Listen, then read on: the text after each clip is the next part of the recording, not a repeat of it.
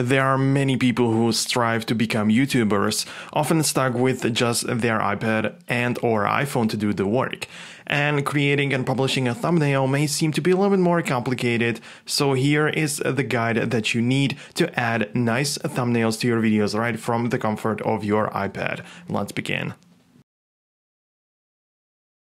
If you already have a picture that you want to publish, there are multiple ways of doing that, but the one I'd recommend is to simply download the YouTube Studio app. If this isn't obvious enough, it's been recently updated to bring dark mode, for example, but it makes it very easy to upload thumbnail at the first place.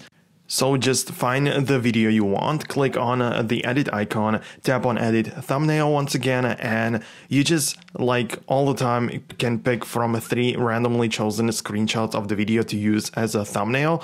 Would not recommend it to be honest because most of the time it just looks terrible. So instead click here to access your gallery and pick a photo or picture you want to use as your thumbnail. We will get to how to properly create one in just a second. However, if you aren't able to find the option to add your own thumbnail, that's probably because your account hasn't been verified. This is a condition from Google that you just have to meet in order to use your own thumbnail. You don't need to reach any amount of subscribers or views for this, simply verify your account with your phone number and you'll be good. This doesn't take long, but keep in mind that you can only verify up to two different accounts or channels with one phone number. Unfortunately, it's not possible to access this right from the Studio app. You download it from the App Store. For this, you'll need to go to Safari and open up YouTube.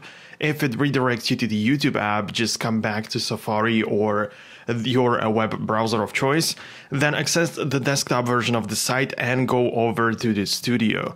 You'll see the settings icon somewhere on uh, the left side, closer to the bottom. Click on it and uh, under channel section and other features eligibility, you'll have the option to verify your channel using your phone number. You'll basically receive a text message with a code you need to type in there.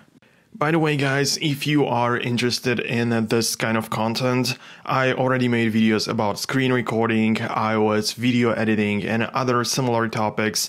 So make sure you won't miss uh, the next uploads by subscribing to this channel. And also you can support this video with your thumbs up if you find it helpful. But what if you don't even have any picture created that you could use as a thumbnail?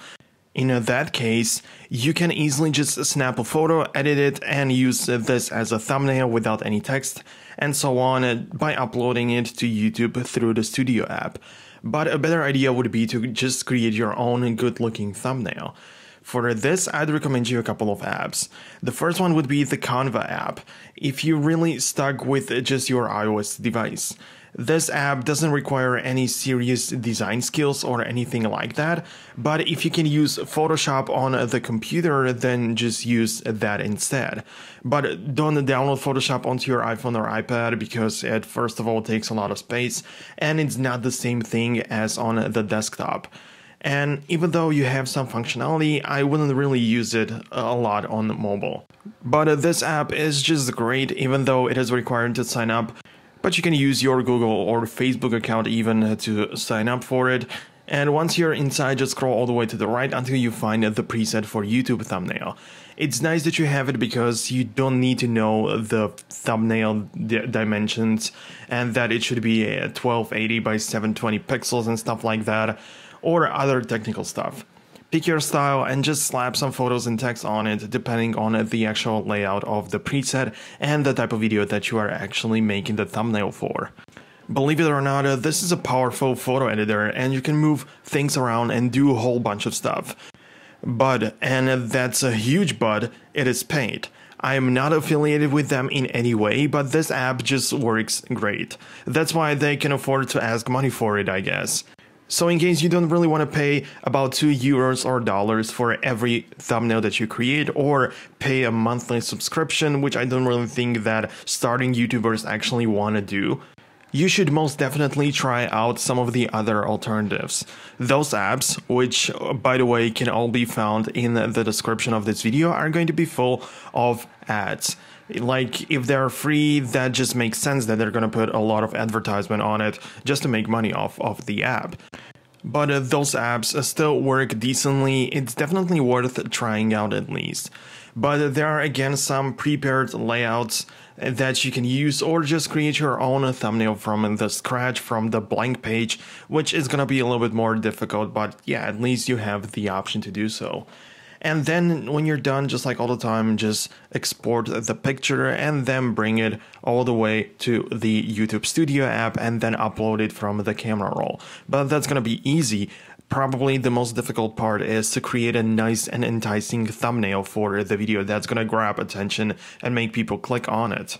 So make sure to try out these apps and not sure about the resolution you'll get out of them, but at least you have something that looks decent and has some graphic design elements in it in order to make the thumbnail look more professional.